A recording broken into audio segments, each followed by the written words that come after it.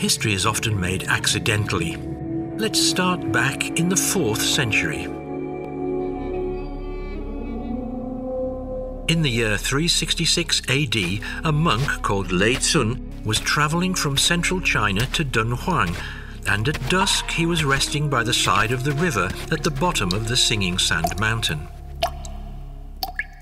All of a sudden, he had a vision of golden lights coming from the mountain in front of him.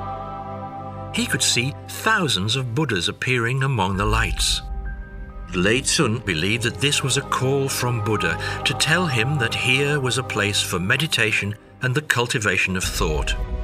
So monk Lei Tsun dug a cave at the Singing Sand Mountain and started his meditation process there.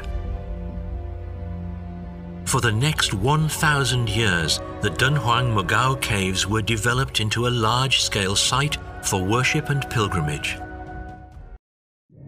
Listen and subscribe to the Why We Love Dunhuang podcast for free on Apple Podcasts, Google Podcasts, Spotify, and all other major podcast platforms.